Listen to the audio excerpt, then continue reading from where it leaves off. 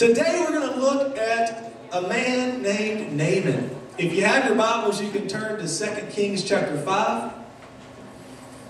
And we're going to read this, this passage here completely through, and then we're going to come back and we're going to break it up and look at a few uh, specific verses. Uh, but 2 Kings chapter 5, let's go ahead and read verses uh, 1 through 14 as we, well, let me just go ahead and read that. The king of Aram had great admiration for Naaman, the commander of his army, because through him the Lord had given Aram great victories, but, through, but though Naaman was a mighty warrior, he suffered from leprosy. At this time, Aramean raiders had invaded the land of Israel, and among their captives was a young girl who had been given to Naaman's wife as a maid. One day the girl said to her mistress, I wish my master would go see the prophet in Samaria. He would heal him of his leprosy. So Naaman told the king what the young girl from Israel had said. Go and visit the prophet, the king of Aram told him. I will send a letter of introduction for you to take to the king of Israel. So Naaman started out carrying as gifts 750 pounds of silver, 150 pounds of gold, and 10 sets of clothing. And can someone say poor donkey or poor horse? Because that's a heavy load. The letter to the king of Israel said, With this letter I present my servant Naaman. I want you to heal him of his leprosy. When the king of Israel read the letter, he tore his clothes in dismay and he said, This man sends me a leper to heal? Am I God that I can give life and take it away? I can see that he's just trying to pick a fight with me. But when Elisha, the man of God, heard that the king of Israel had torn his clothes in dismay, he sent a message to him saying, Why are you so upset? Send Naaman to me, and he will, he will learn that there is a true prophet here in Israel. So Naaman went to his horses and chariots and waited at the door of Elijah's house. But Elisha sent a messenger out to him with this message Go wash yourself seven times in the Jordan River. Then your skin will be restored, and you will be healed of your leprosy. But Naaman became angry and he stalked away. I thought he would certainly come out to meet me, he said. I expected him to wave his hand over the leprosy and call on the name of the Lord his God and heal me. Aren't rivers of Damascus and Abana and Pharpar better than the rivers of Israel? Why shouldn't I wash in them and be healed? So Naaman turned and went away in a rage. But his officers tried to reason with him and said, Sir, if the prophet had told you to do something very difficult, wouldn't you have done it? So you should certainly obey him when he simply says, Go and wash and be cured. So Naaman went down to the Jordan River, and he dipped, and he dipped, and he dipped, and he dipped, and he dipped. All his sins were washed away, washed away. I'm just going to see how many of you guys are old school this morning. That's all I'm doing. And he dipped and he dipped seven times, and his skin became as healthy as the skin of a young child and he was healed. The title of the message this morning is going to be When Life Gets Complicated, Keep It Simple. When life keeps, gets complicated, keep it simple. Let's break this story down and look at a few key points here. Uh, I, don't have a three-point message, but I just have some thoughts I want to share with you uh, this morning. First off, looking back at verse number one, we see here that uh, because through him the Lord had given Aram great victories. I just got to make a brief point right there that, that it didn't say uh, through Naaman great victories came. It said through Naaman the Lord gave Aram great victories. And the point I want to make real quickly is we need to learn to live our lives in such a way that, that God gets all the recognition for every success we could possibly have in life. You know, you hear a lot of people at the award ceremonies, if you have, and I'm, I'm I don't want to judge, but, but, but, but given the fact of some of the, the people who thank God in the ceremonies, um, they don't appear to, to, to, serve God in other areas of their life. That's all I'll say about that. But they're willing to say, thank God, I couldn't have done it without God. And if they can say it, then how much more should we as, as Christ followers, as disciples of Him, say, you know what, God, I can't have success apart from you. I owe you all credit for any success I might have. Just a quick thought there. So your Naaman is, uh, he's won great victories. The Bible says in verse 1 that he's a mighty warrior, but he suffers from leprosy. And it may not have specifically been leprosy because the word used here actually can mean other uh, skin conditions. But, but regardless of that, Naaman has a, a skin disease. He's a great warrior, but he has a skin disease. And here in, Bible times, those that are lepers and those who have skin diseases are outcasts in, in the world. Nobody wants to be around them or touch them. And, and here Naaman is, I don't know how many people are aware of his skin condition, but, but I see when he puts on his armor, nobody can see his skin condition. When he puts on his armor, he looks like a great warrior and a mighty warrior. But, but what they don't realize is when he goes home and he takes off his armor, he starts itching like crazy because that skin disease is bugging him. But all people see is the armor. And we talked a little bit about that last week about how all we see about some people's lives is, is the highlight reel. We don't see the nitty and gritty. You know, we always look at our lives sometimes, and if we're not careful, we can wish that we have what other people have. But, but listen, they got their struggles too. They have struggles too. No one can avoid troubles in this life. The grass might look greener on the other side, but guess what? It still needs to be mowed. Still needs to be mowed. So here Naaman is. He has this skin disease. He's a valiant warrior. And something happens in verses 2 and 3. At this time, Aramean raiders, uh, they invaded the land, and here they take captive. In their invasion, they take captive a young girl from Israel and bring her into Naaman's house, and she becomes uh, basically a slave, a servant of Naaman's wife. And so here this young girl is. She has just been pulled from her family just been yanked from her hometown, from the comforts and the security of her own home. She has been plucked out of and placed in this. But, but then as a result of her being yanked, she finds herself in a position to where she can profoundly impact the kingdom of God. And the point I want to make there is, is the fact that God can take your misfortunes and he can turn them into good fortune. He can take your misfortunes. You can feel like that girl and you've gotten plucked out of some things in life, but maybe that plucking can actually work out for the better of you. Maybe that plucking can help you more than it's hurt you. Maybe that can give you beauty for ashes. That's what his word says. He said, I'll give you beauty for ashes. He'll turn your, tri- or your tragedy into a triumph. And I look at this about Naaman and I said, man, God must have really loved Naaman to, to have taken a girl from Israel to bring it to his house just to meet the need in Naaman's life. And God will do the same thing for you. God loves you so much that He's willing to send someone from a faraway land or to send something from far away to come to you and to meet that need and fulfill whatever need uh, you have in your life. I think about my wife and I when we first uh, met. For those who don't know the story, I'll give you the brief version of the story. Uh, we were, uh, there was a, a West Tennessee, Henning, Tennessee, a small town, is where I was attending church. And we needed a youth pastor. And, and they hired a man from California, of all places, bring him all the way from California to a small town Tennessee to be a youth pastor. Well, he's our youth pastor, and I'm in college at the time, and for a few years, and then when he moves, he goes to the church where Valerie's dad is pastoring. Now, now God knew that Valerie had a need in her life. She, needed a good man, a godly man, a righteous brother and, and so he sent a man from California, and his daughter played matchmaker. And, and, and, as a result, the rest is history, as they say now. We're, we're happily married with four little ones running around. And, and so God met Valerie's need that day. He met mine too. Come on.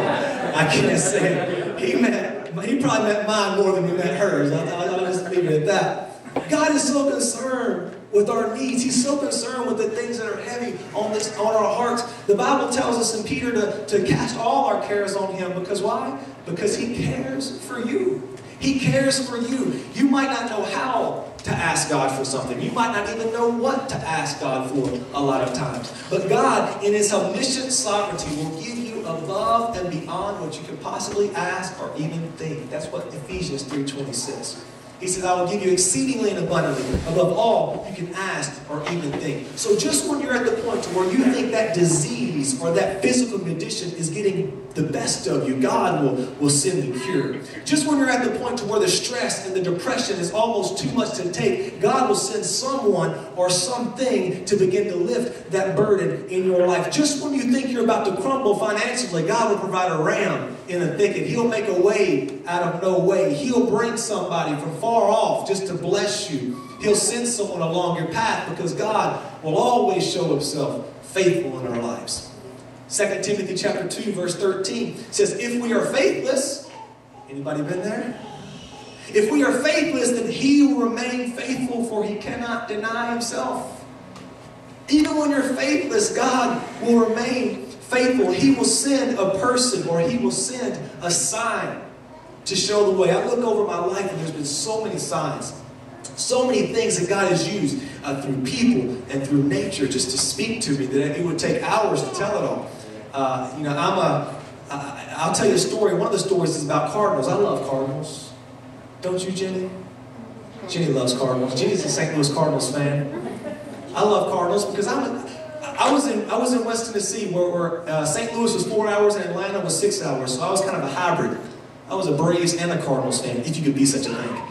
Uh, you can't? Okay, well I tried. I was. a Braves and a Cardinal fan. But but there's a story about Cardinals that, that God really spoke to me, and I'll, I'll share that here. And, and, as I share that, in all seriousness, as, as I was preparing, as I was studying, and God reminded me of this story, I really feel like this is going to bless somebody. I feel like somebody in here uh, really needs to hear uh, this testimony from our own life. I think is going to minister to you. Um, Valerie and I, when we first uh, were called out of youth ministry, we were youth pastors for I guess 10 years or so. And I won't tell it from, our story because there's so many details I can't even express it all. I'll, just tell it from my side of the story, and Valerie can tell her side uh, to you some other time. But from my side of the story, I knew God had called us or was calling us out of youth ministry, and I really felt, strongly uh, He was calling us into a, a lead pastor, a senior pastor role which was intimidating to me because I had no experience in senior pastoring. And God, that's I've never, I don't know if I can handle that or, or accomplish that, but I know when He calls you to do something, equip you uh, to do what He's called you to do. And so here we are. I know this calling is there. I decide to take a step of faith. We decide to take a step of faith. And so I step out. I step out of the boat. And, I went through this period to where as I stepped out of the boat, I was really stepping into the unknown. And, and, and when I stepped out, nothing seemed to happen. See, anytime that God calls you to take a step and then you end up taking that step, but when you take that step, nothing's there, that's tough.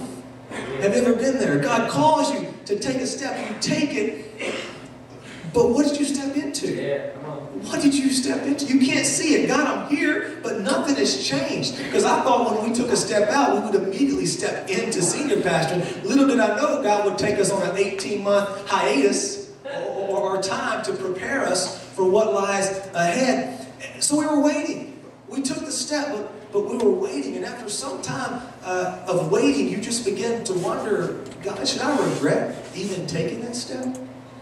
You know, God, would life have not been easier had I just not taken that step? And we wonder if we should even regret that, but something inside of us won't allow us to regret it because we know that that step was an obedient act to God and to His will. And so we know we're faithful in that. But here we are, we're, we're stuck in this moment of just not understanding and not knowing where God is leading us. And that's a difficult place to be in. Because in that moment, you're just hanging on to His Word. That's all you have. But that's enough. That's enough. It's all you have, but it's all you need. His word is all you need. And so in this moment to where it's it's it's it's tough. We made a decision to step, nothing's happening, we can't see where God is leading us. It's, it's just, it's starting to get a little discouraging. I'm starting to wonder if maybe we just need to throw in the towel on this whole ministry thing. Uh, just to be totally candid with you, and, and, and through this time, God begins to speak to me through the Cardinals. And let me give you the backstory on the Cardinals. Prior to this, the Cardinals had just won uh, the World Series in that year. And to give you an idea of what was going on in that World Series, because this was a very unique World Series, uh, they were playing the Rangers. And uh, Jenny, I know you love this story. And so the Rangers uh, were playing the Cardinals, and here it is, the bottom of the ninth inning. For those of you who are baseball fans, the bottom of the ninth inning. Uh, the, the, Cardinals are down by two. If, if, they can't score here, they lose the game. There's two men on base, and, and the batter has two strikes on him. That means one more strike, and he's done. Game over. Two strikes. The pitcher pitches it. David Freese is the batter. He hits the ball in the outfield, hits a triple, scoring the two runs and tying the game. What an incredible comeback to tie the game in the bottom of the ninth. So they go into extra innings. And they go into the 10th inning, and the Rangers just put two runs on the board. Boom. It's like, oh man. So here the Cardinals find themselves again, bottom of the 10th now. Same position they were in last inning, down by two runs. What are they going to do? They score a run by, by one, one batter towards the end of the lineup. The first of the lineup comes up. They walk Albert Pujols. You, for those who know Albert Pujols, you know why they walked him. And Lance Berkman steps to the plate there again. Down by one at this moment. Two outs, two strikes, one strike is all the Rangers need to win this game. So they throw the pitch, and, and Berkman hits a single, scoring the man on third, and they tie the game once again. Hang on. Let's go to the 11th inning. They go to the 11th inning and they shut the Rangers out. The Rangers can't score. David Freese comes back to bat for the Cardinals in the bottom of the 11th inning, hits a home run, a solo home run to win the World Series for the Cardinals, and the crowd goes wild.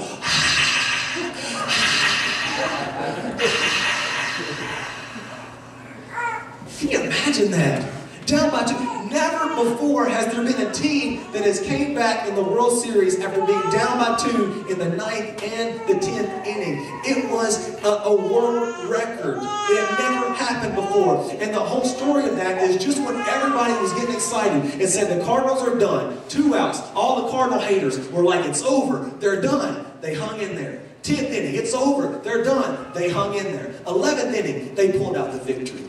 And in this moment, as I'm kind of discouraged and I'm kind of, you know, depressed about taking the step, but God is just not showing up in the situation, uh, that's in the back of my head. I'm not really trying to think about Cardinals. I'm not looking for Cardinals. I'm just, I'm just living life. And I look out the back door of our house, and there's like four or five Cardinals standing in my yard. Now, you know, you see Cardinals every now and then fly by, but you don't see them in groups. And God showed a group. He, God has to get the message across somehow. A little, I'm a, I'm a little thick-headed sometimes. I can be stubborn, so God has to use some pretty drastic measures. And immediately when I saw the Cardinals, immediately the Holy Spirit brought up that game. And he said, it's not over yet. It's not over yet. Bottom of the ninth, two outs, but it's not over yet. You're still in this thing. I'm still going to bring the victory. I'm still going to turn things around. And I want that to encourage you this morning. Maybe next time you see a Cardinal, because I'm starting to see them again. Uh-oh, look out somebody. I'm starting to see cardinals again. And maybe in your life, the next time you see a cardinal this week, I want you to think about that step that you take, that you've taken, that, that God hasn't appeared to show up in yet. And let that be a gentle reminder that it's not over yet, that He's He's going to send whatever He needs to send to, to help you keep the faith, to show Himself faithful uh, in your life. Let's move on. Uh, verse number four uh, through seven, we see where this girl tells uh, Naaman to, to go see this prophet in Israel. And, and Naaman, you know, he, he petitions the king. King says, great. He sends a letter uh, to the king of Israel saying, hey, you know, Naaman needs to be cured of leprosy. And the king of Israel uh, doesn't like this. He says, what can I do about the situation? I'm not God. I can't cure leprosy. You're trying to pick a fight, big boy? You're trying to pick a fight? He was getting upset about it. And, I look at that situation, I think it's kind of funny because I, I, I look at our own lives when we have problems, when we have issues, when we have struggles that are complicated. A lot of times we, we tend to go to the wrong people to try to get the answers. We tend to go to the wrong people. They, the, the letter had no business being sent to the king of Israel because he can do nothing about it. They needed to see. But he's looking to the wrong person for help. I think about Job and his three friends who thought they were helping him, but really they were making things worse. They were making it worse. With friends like that, who needs enemies? Right? Who needs them? If anybody's advice to you removes God from the equation, then that's bad advice. If their advice removes God from the equation, don't take that advice. The only way to solve a problem that's bigger than you is to enlist the help of a God that is bigger than you. That's the only way to solve a problem. And people in this life, they mean well. I know we mean well. And sometimes it's good advice. Sometimes the advice they give you is good advice, but there are certain complications in your life that you don't just need good advice, you need God advice. You need some God advice. You need to know the right answer. The, the, you need to go to the person that can provide the only answer uh, that you need. And so here Elisha is, in, in verse number 8, uh, we see where he, he says, send him to me. And, and he's upset that the king well, I say he's upset. A little backstory on this. King Joram, the, the one that's the king of Israel at the time, who's tearing his robes and he's upset because he says, I can't cure leprosy, and he's getting all frustrated. Um, Elisha doesn't have a good track record with Joram. Uh, a couple of chapters back, I think in chapter 3, is when Joram and Jehoshaphat and another king approach Elisha, and Elisha pretty much tells Joram to his face, if it wasn't for Jehoshaphat, me and you wouldn't be talking. He don't like Joram because Joram is not following in the ways of God. He's the king of Israel, but he's not following in God's ways. And so Elijah has a little bit of a, a little bit of an angst or a little bit of bitterness or something there towards Joram. And then in that moment when Joram is stressing out, saying, "Why is he picking a fight with me?" Elijah could have sat back and snickered and said, "You know what? That's what you deserve. You, you need you need a little bit of you need somebody to pick a fight with. You, you need to to stress out a little bit because I don't like you anyway." Because but notice what Elisha did instead. He said, send them to me. Because we should never let our opinions of other people keep us from doing what God has called us to do. We talked about that last week. Well, they don't deserve it. Well, maybe they don't deserve it, but God called you to give it anyway. God called you to bless them anyway. God called you to pray for your enemies anyway, regardless of what they deserve. So we go along in verse 11 as we keep tracking through the story. And this is the part I really want to camp out on for a little bit. So in verse 11, after Elisha says, look, go dip in the Jordan seven times, Elisha didn't even go out to meet him. Just send his messenger. Go tell him this. Which, which infuriated uh, Naaman. And, and he became angry, He stalked away. I thought he would certainly come out to meet him. And notice what Naaman says in verse, uh, I think it's 11, was verse 11 there.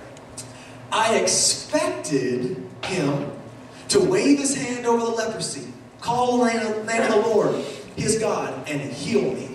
I expected him to do this. Naaman is heading to Elijah's house. He has already played the scenario out in his mind. He already sees himself knocking on the door. Elisha comes out, hey man, gives him a big old hug, high five, whatever. And, and then he says, I have the condition. And Elisha says, no problem. Abracadabra, boom, God be him. And, and that's what Naaman thought might happen. So as he's going, this is the picture that he has in his mind of, of how it's all going to go down. But he gets there and it doesn't go down like that. You ever been guilty of asking God for something and picturing it to go a certain way, but God doesn't quite answer it that way? And you're like, wait a minute, God, I didn't, I didn't expect it to go down like this. Naaman expected him. And, and, as Christians, we put ourselves in a very precarious position when we present God with the multiple choice problem. And, and we, we, we present God, here's the problem. Let's say, God, you know, I, I need you to meet this financial uh, situation, this financial need in my life. I need you to meet the financial need, God. So you can either, A, uh, you can have my boss give you a raise, or God, B, you can have me just find money laying on the ground. That would be pretty neat. Or C, God, you could uh, you could have a rich relative that I don't even know anything about pass away and leave me a great inheritance, right? And those are the three options we give to God. God, you can A, B, or C. Here you go. Our God is not a multiple choice God. To, to give him A, B, and C is to put him in a box and say, you can only answer my problem with these three solutions. But in doing so, we forget the other solutions that are out there. We forget option D that says God's going to give you a side job where you can earn a little extra income. We forget option E that says uh, God's going to have someone buy you groceries for a week so you can save the money you would have spent on groceries. We forget option F that says the IRS is going to contact you and say, we didn't give you enough money back on your tax return, so here's more money. God can do miracles. I know. God can do miracles. It can happen. We present him with these options. God, here's your multiple choice exam. And God says, no, I don't, I don't like choice A, B, or C. I'm going to go with choice Q, choice R. It might be choice Z, the last thing on your list. But if God is able to solve the problem, let it be Z, right? Let it be whatever. We can't present God with multiple choice. We give him the open-ended question. God, here it is. However you want to resolve it, it's yours. Here's the complicated issue. However you want to fix it, it's yours. Now, now sometimes we can't help but to expect it to go down a certain way, right? Sometimes it's just human nature to come and expect it to happen a certain way. And that's fine as long as you don't get disappointed when God decides to do it a different way. You can have your expectations of A or B or C, but if God decides to go with E, F, or G, don't be upset about it. Just trust that in His intelligence that He is able to come up with a better solution uh, than you could have come up with on your own. So here, Naaman is, he's expecting Elijah. He's expecting him just to wave his hand. And then God miraculously heals him. He expects something grand to happen because this is a complicated issue. A skin disease is a complicated issue. If it would have been fixed easily, guess what? He would have already gotten it fixed. It's a complicated issue. So he's looking for something grand to occur, but instead he's told to go to a river and dip seven times. And in a dirty river at that. I got a skin disease, and you want me to dip in a dirty river. See, I've already told y'all about how I don't like to swim in lakes because I can't see the bottom of the lake, and, and you hear all these conditions about flesh-eating bacteria and don't get in with a cut or, you know, whatever. And so I'm a little leery of that. Well, here he has a skin disease, and he's told to dip in a dirty river. And even the thought of dipping, it just seems too simple to name. Seems too simple. You guys ever been wild about magic trick? I like illusionists. I love it. I used to, I used to have the little, little magic kit when I was a kid. I, I used to love doing that kind of stuff. Uh, my brother-in-law and I, when we were um, older, we were teenagers and different things, uh, we would go to these theme parks where they would have the little magic shops. Y'all know what I'm talking about? And we would love to go to those magic shops. And those guys, they would be in there, they'd do their 15-minute routine, right? They had six or seven tricks they would show you, their 15-minute routine, and they would blow your mind. And you were like, wow, how did you do that? And so at the end of the, the show, we would go up and we would say, then how'd you do that one trick? And he said, well, you know, you can buy the trick, I can't tell you, but for $40, the trick can be yours. for $40. And, and, you know, your mind has just been blown. So to you, you justify it. You know, that's worth it, right? I mean, if I can amaze people like you just amazed me, I will give you the $40 because something inside of me must know the intricate secrets behind this magic trick, this illusion. And so I, I, I, I, I have spent my fair share of $40 once or twice. But I remember the feeling because I, I would pay the $40 for the mic and they would give me the trick and I said, oh, I can't wait. I'm probably gonna have to watch like a two hour training video to perfect this, right? I'm gonna have to read this thick manual just to, to get the sleight of hand just perfect. And, and I get the, the book that holds the secrets of this magic trick and you just feel the power in your hand. I mean, for 40 bucks, you just feel like this is going to be just a, an incredible secret that you're about to learn. It's going to be like the, the secret of the Mayan calendar or whatever that was. And so you open it up and you're excited. Oh, I can't wait. Really? That's it? That's it? In that moment, it, seems so simple. And you feel like you just got gypped. You feel like the guy just, just took pull one over on you, right? Because I just spent 40 bucks for you to tell me all you gotta do is make sure your hand is turned this way. Really? Really? I paid 40 bucks for something that simple? And, and it's so simple that in your mind, you're like, people are going to figure this out, right? I mean, you can't. I, I can't do this trick. It's so simple. People are going to figure this out. But they don't. They don't. You can walk away and do that trick, and as simple as it might sound, it is oftentimes the simplest things that can have the most profound effects in our lives. They'll never figure it out because it's so simple. You ever go through a trial and, and you talk to a friend of yours and, and, and your friend gives you a simple piece of advice, and this is the whole, the meat of this, is that simple advice that we receive. Uh, you, you, talk to a friend, you're going through something, you're struggling, you, you got a complicated issue, and, and, you want your friend to give you something really good, something deep, right, something practical. And, and, and your friend says three words to you. And those three words are pray about it. Pray about it.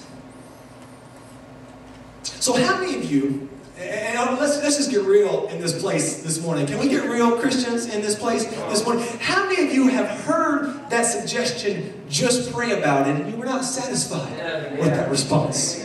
How many of you, with that response, you, you, you, you got tired of hearing people say, just pray about it, just pray about it, just pray about it? How many of you felt like that response was what people say when they don't know what else to say? They have no other opinions. They have no other knowledge or wisdom on the subject. So it's a cop-out response, right? It's just a cop-out for Christians. Just pray about it. I don't know what else to tell you. Just pray about it. And it seems so simple, doesn't it?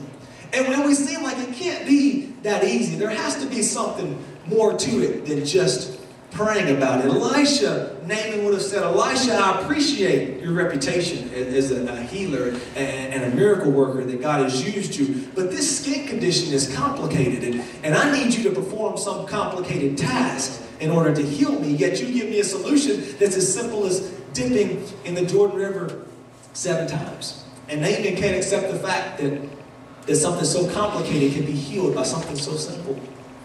And his, his servant gets it. His officers get it. In verse number 13, they said, Sir, if the prophet had told you to do something very difficult, wouldn't you have done it? Well, yeah, I would have. So you certainly should obey him when he says, Go wash and be cured. How much more should you do it? One version says, if you come to me with an issue, Pastor Jeremy, I'm having an issue. Okay, let me tell it to you like this. Here's a 12-step resolution. If you follow these 12 steps, that issue will be resolved. You would go out and you would start those 12 steps, wouldn't you? But how many of you, on that same token, if I said just pray about it, would you go away feeling a little disappointed that I didn't give you more advice than just pray about it if we're honest with ourselves? How can something so simple be the answer because we view prayer as something so simple and it can't possibly be the answer. Uh, you ever help your kids with homework and, and their homework is so simple that it confuses everything out of you? I mean, my, my daughter is in second grade, my son is in kindergarten. I remember trying to help her with some first grade homework. And what you need to know about me is I tend to overanalyze things. I analyze everything. It can be a very good quality, but it can also kind of come back and bite you. And, and I look at this homework, Daddy, can you help me? Sure, baby. And I'm reading it, I'm like, it can't be that simple. There, there, there has to be more to it. I think I know the answer, but, but I'm the kind of kid that in school I was always looking for the trick answer. Right? If it was too easy, there had to be a trick to it. I was always looking for the trick answer. It can't be that simple. It can't possibly be the right solution. However, as simple as prayer might sound in your life, it's the most powerful tool in your arsenal. It's the most powerful tool in your arsenal. See, we try to combat difficult situations with equally difficult tactics, but the most effective tactic that you and I have as Christians is, is the most basic and simple tactic of prayer. It's the most basic and simple tactic. When life gets complicated, keep it simple. James chapter 5, verse 16 says, The earnest prayer of a righteous person has great power and it produces wonderful results. Pastor, I have a complicated issue. What should I do? Pray about it. Oh, but Pastor, that's too simple. Pray about it. Try it. Try it. I have tried it, Pastor. No, no, nothing's happening. Uh, so we start giving other solutions. It says, aren't the rivers of Abana and Pharpar better? Can I go dip in them? Let me make suggestions of other rivers. We do the same thing with God. We start making suggestions to God as if God is inviting us to a round table, saying, come on, guys, I need your help on this one. I'm just in a total blank here. I don't know what the next step should be. Please, what do you recommend I do? God never invites us to that table, does he? Because we don't, we don't have to be at that table. Do you think the creator of the universe really needs our opinion on what the best solution might be? No, he's doing a pretty good job ruling the world himself. Doing a pretty good job of that. Yeah, but God seems to be drawing a blank. He, seems to not know what's going on. Listen, if God is drawing a blank, that might just mean you need to pause where you are. If God has nothing to say on the matter, maybe God is really saying just hold tight for a little bit. Maybe God is saying to Moses, you know what, Moses? You need to learn some survival skills in the wilderness before I take you and lead an entire people out of slavery. I need you to stay in the field a little bit longer, David. Just pause in the field because if you can't learn how to protect sheep, you'll never be able to protect the kingdom. Sometimes when God draws a blank, it's not really a blank at all, it's just a pause. And we need to learn to roll with the pauses. Worship team, you can come on back up as we wrap this thing up this morning. In verse number 14, Naaman finally decides to do what Elijah requested. He went down to the Jordan River and he dipped himself seven times as the man of God instructed him. And his skin became as healthy as the skin of a young child. There's something to be said about consistency here. Because Naaman wasn't asked to dip once, not twice, not three times. And in that moment, you, you got to just ask yourself, you ever just, God just calls you to do something stupid, and you're doing it. You're like, God, how much longer do I have to do this? Moses, I mean, excuse me, Noah building an ark. God, this is foolishness. Come on, man. Seriously. What do you got me doing? You know, is this, is this just a tactic to try to keep me busy? What, what are you doing here? Eh, it's, it's busy work, but, but there's a purpose in it. And, and sometimes God calls you to do silly stuff, but you got to be persistent. And, and had Naaman just dipped four times, he would have been healed. And if David had just dipped five times or even six times and said, you know what, this is stupid, I'm getting out of here. This is ridiculous. I'm not going to be healed. I, he's just making me look like a fool. He just wants me to look foolish out here. That's what he's doing. But he didn't do it. In 2 Kings chapter 13, you'll see later on, Elisha, is, as he's dying, he is approached by Jehoash, who's the king of Israel. And Jehoash visited Elisha, and Elisha told him, you know, get a bow, get some arrows, take a bow, open the east window and shoot the arrows out. The Lord's arrow of victory is over Aram. So he shot the arrow and he says, well, because of that, Elisha said, you will defeat the Arameans at Aphek. And, and then Elisha went on to say, now take the arrows that represent the victory and strike the ground. And the Bible says that the king, Jehoash, took the arrows and struck the ground. One, two, three. Did what you told me to. But with that third strike, he stopped, and Elisha got infuriated. He was angry. Why did you just strike it three times? He says, Because you didn't tell me how many times to strike it. And Elisha said, Because you only struck it three times, you will only defeat the Arameans in three battles. You should have struck the ground five or six times. Then you would have completely destroyed it. But now you'll just destroy them on three battles. And after I read this, I thought, come on, Elijah, cut the guy some slack. You didn't give him a number. You know us guys, we need directions. Give me a number. I'll, I'll hit the ground as many times as you want me to hit the ground. Just tell me the number. But don't leave it open-ended and the fact that Elijah left it open-ended and he just did it three times really upset him. And, and the only thing I can think about to compare to this situation is the game of Simon Says. And how in Simon Says, you know, the leader who is Simon says, Simon says, pat your head. So you start patting your head. And, and when do you stop patting your head? When Simon says to stop. Just because Simon says pat your head, you don't do this and quit. You don't do this for, for a minute and then say, man, this is ridiculous. I quit. No. You keep patting your head until Simon says stop. Don't stop until Simon says so. Or don't stop till you get the results. God says pray. Don't stop praying until God shows you the results. I think about Elijah. When Elijah had prayed for rain, and he's there and he's praying for rain, and he sends a servant, go check and see if rain is coming. The servant comes back, there's no sign of rain. Elijah keeps praying. Go see again. No sign of rain. Elijah keeps praying. And Elijah kept praying, and he kept sending out that servant until eventually the servant came back and said, I see the cloud, the size of a man's hand. Elijah got up, said, That's good enough for me. It's time to stop and move on to the next thing. He didn't stop praying until he saw the results. Is prayer simple? Yes, prayer is simple. Sometimes we overcomplicate it, but prayer is so simple. And it seems like such a simple resolution to the complicated problems in our lives. But as simple as prayer is, it is the most powerful weapon you have. Don't underestimate the power and the effectiveness of your prayer. There's an acronym for the word push. You heard it? Pray until something happens. That's when you can get off the hook. You're praying about a situation and nothing's changing, you're not off the hook until something changes. Keep praying over the situation. Yeah, but Pastor, it's too simple. I know it's simple, but God chooses the simple things in the world to confound the wise. It's the simple things that He chooses. Whatever complications you have in life, I don't care how complicated your situation might be. When life gets complicated, keep it simple. Keep it simple. Return to the basics. God, we thank you